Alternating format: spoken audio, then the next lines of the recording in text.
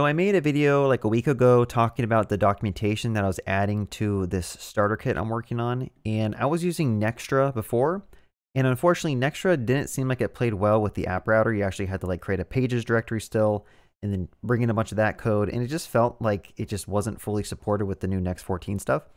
And also I had like a mono repo where I had a packages directory and I had a docs folder and a web folder with Turborepo.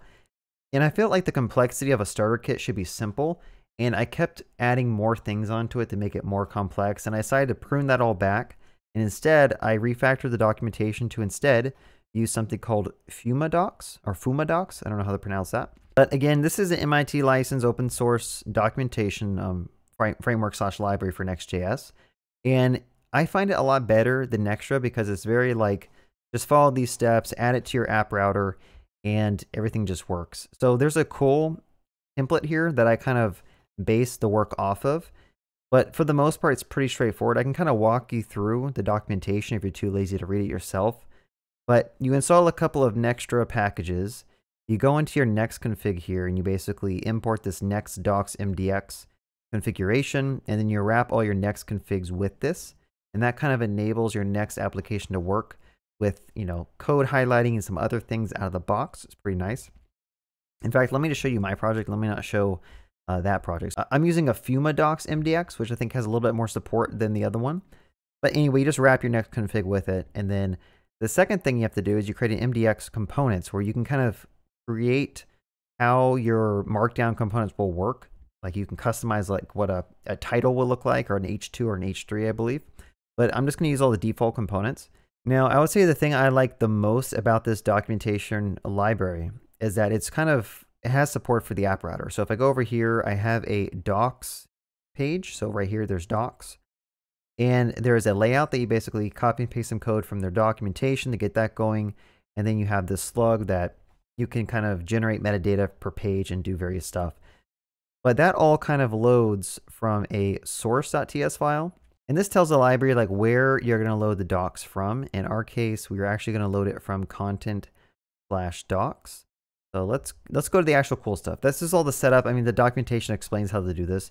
But the important thing is now you can actually write your documentation over here using these MDX files. So if I were to make a new file over here, I'll just make, make a new one called like hello.mdx. You can go ahead and add some metadata. So like you do these little blocks up here. The title could be like hello Description could be some test page. And then you have access to just do your normal markdown. So I could say I want an H1 that says hello world.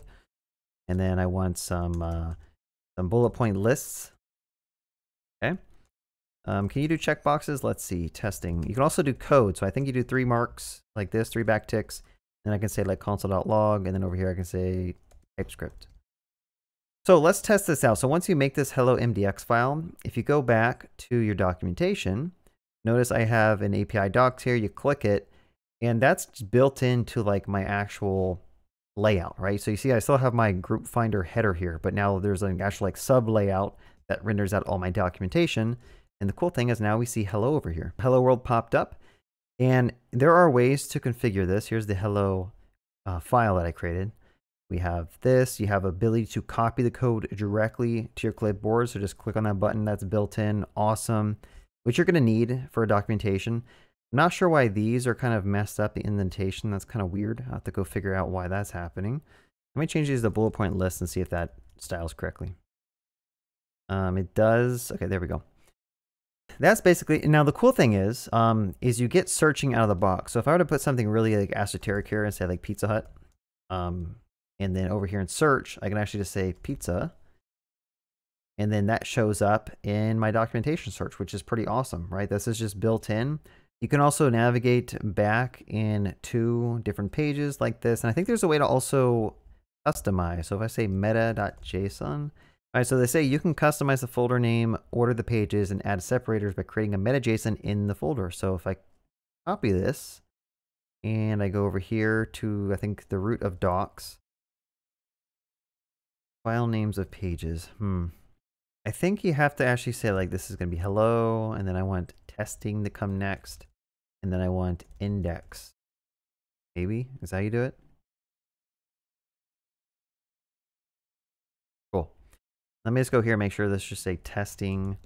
This will say homepage. This will say hello. Okay. Hello testing homepage.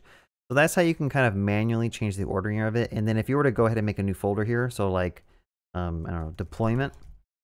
Again, you can make another file here. I'll say index.mdx.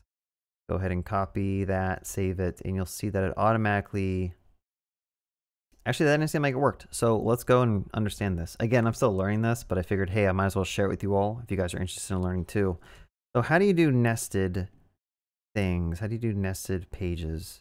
Let's go to a folder. It says you can use folders to organize multiple pages. The uppercase name of the folder will be used as the display name. By default, pages are sorted with string.localeCompare. Um, with index mdx file always ordered at the top. Well, I don't know what's going on there, buddy. I can't uh, get the docs to work. I wonder if I actually need to go here and say deployment. Because that's my folder. There we go. Okay, I figured it out. I'm a little slow, but I figured it out. So because I made a custom pages here, I think if I actually deleted this, that would have automatically found that deployments, and it did. But now the ordering is not how I want it, right? So I have to add that back, and then you have to put the folder name here, and then there you have it. You can expand that. So pretty cool stuff, and I just wanted to share that with you all. By the way, if you guys are interested, go check out WDCStarterKit.com, subscribe to the newsletter. If I get around to finishing this thing, it'll be available to purchase. I'm going to make a lot of tutorials and walkthroughs of how you can get this thing deployed to production and maintain it and add features to it. And I think it'd be a really good learning experience for anyone trying to launch their first SaaS product. So definitely go check it out. But more importantly, go check out FumaDocs because I do think it's it's a very capable documentation system. It's really nice. Other than that, have a good day and happy coding.